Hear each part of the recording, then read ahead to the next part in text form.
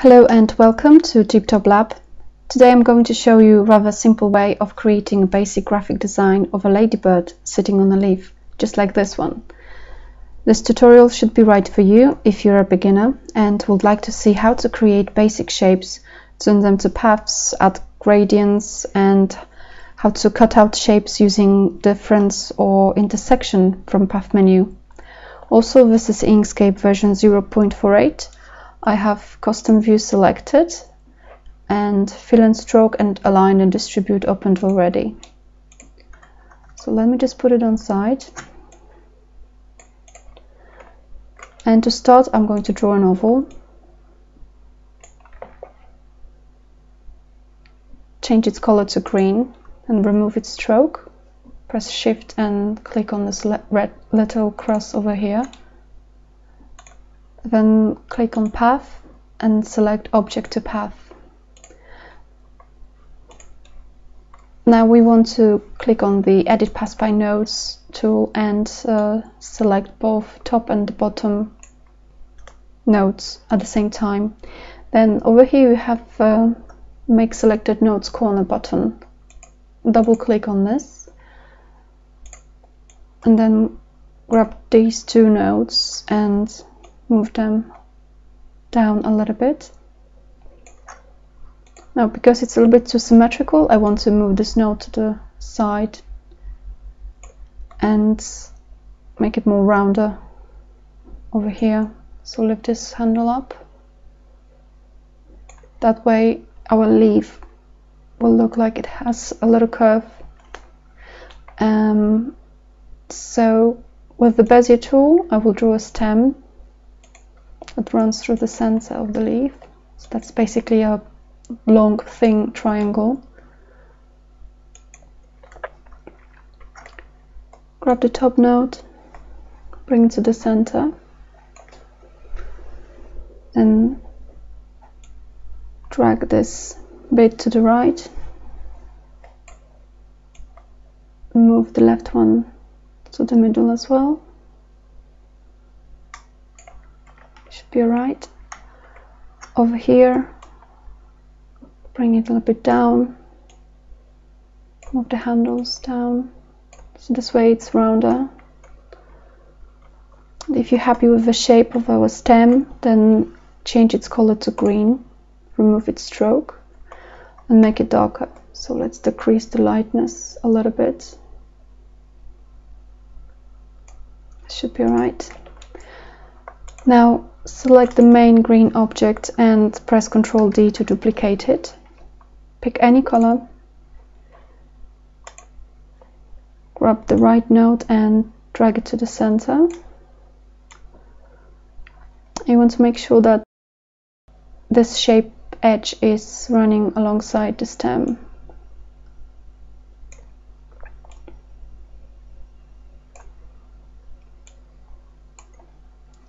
Then click on the main object again, create another duplicate, change its color,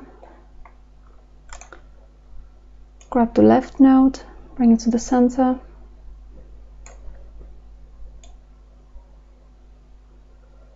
should be right.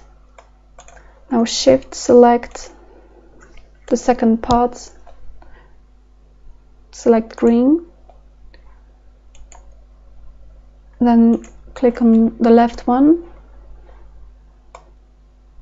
create and edit gradients,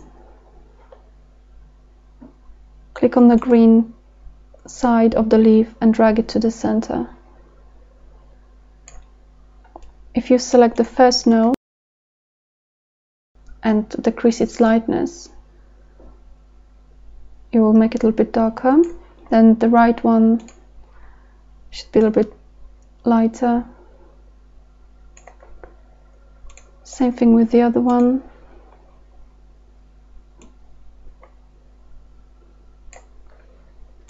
Make this one darker and the other one brighter. Now I want to move this node a little bit up and now on here. This should look good. Bring our stem to the top and make sure it runs through the middle of the leaf.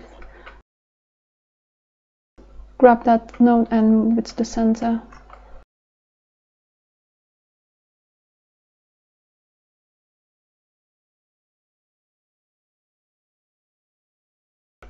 Right, so let's select and group all together and click again and rotate it to the side. Then create another oval, make it red,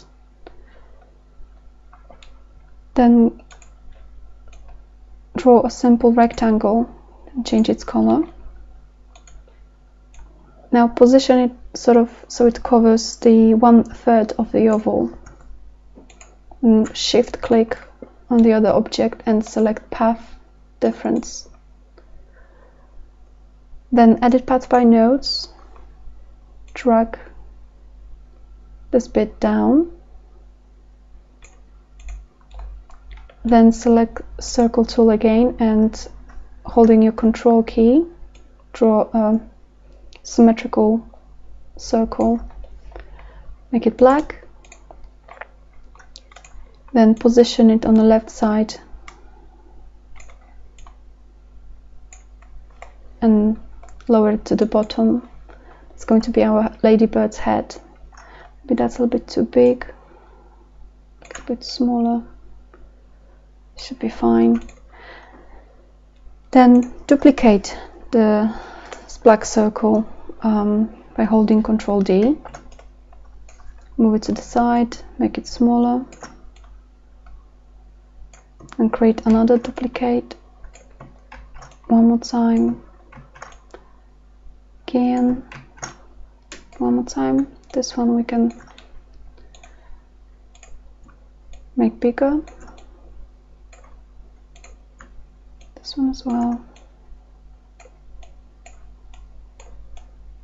Now to cut out those bits that are sticking out here we will um, use a difference from path menu. So click on the red shape duplicate it shift click on the spot go to path. Sorry we will use intersection. That way we will end up with the spot being cut out with the shape that was on top of it. So let's repeat that. Select the red shape Control D shift click on the spot click path and intersection now we will duplicate the red shape again, make it white, and from the field select radial gradient. Double click and move the gradient to the upper right side of the ladybird's body.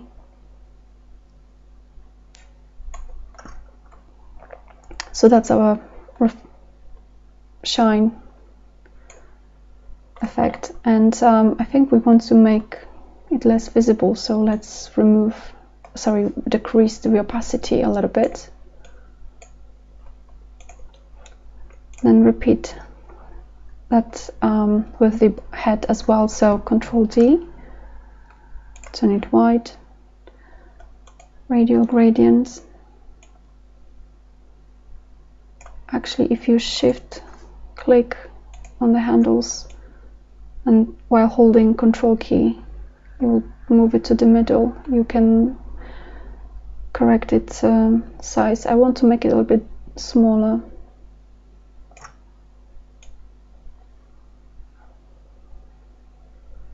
Move it there. Reduce opacity now if you can see here it over overlaps the red shape so let's select it and lower it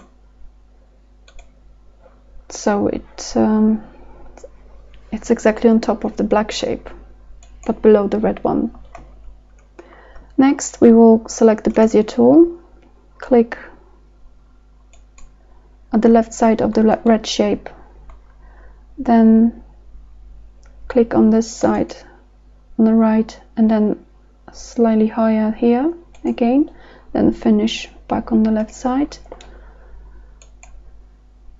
Then edit path by nodes and we want to drag this path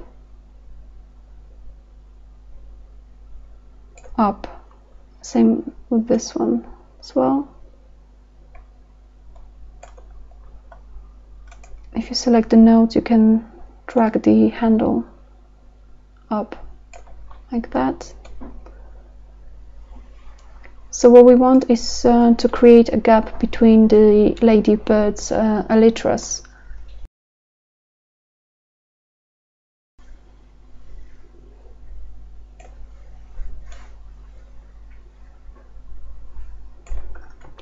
then over here let's just grab this bit and move it down if you zoom in you can check that everything is in place then select this uh, shape and click on the black color remove the stroke. Then select bezier tool and uh, create a simple line just with two clicks then release with the right click of the mouse. Grab this path and give it a little curve and go to stroke style and increase its value to let's say 3 maybe 11 bigger maybe 4 4 should be right. Then select the round cap control D to duplicate move it to the side click again to rotate rotate this one as well.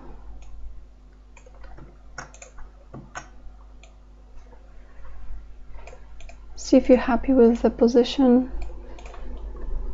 Should be right now I will create the ladybird's legs using ellipse tool. So very thin lips.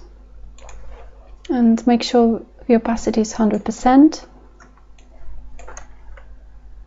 and position this in the middle of the ladybird's body.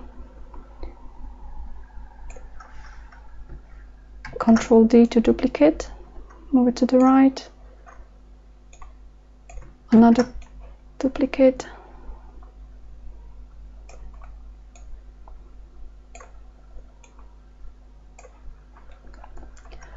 Now shift click on other two legs and from align distribute select make horizontal gaps between objects equal. Then double click on this oval and one more time rotate it a little bit same with this one looks alright and shift click on all of them. Group together. Bring to the bottom. And see if that needs any adjustment.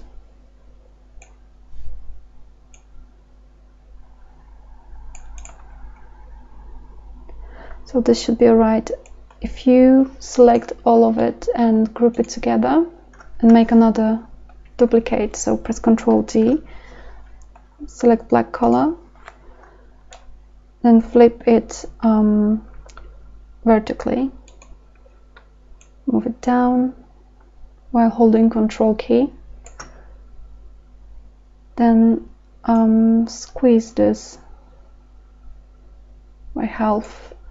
Click again and then let's skew this to the left a little bit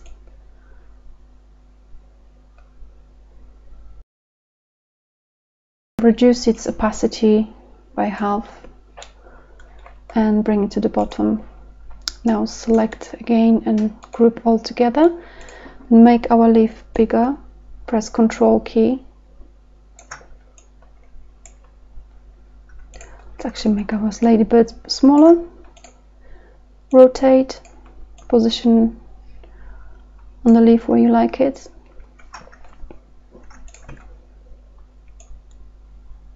And there it is, our ladybird sitting on the leaf.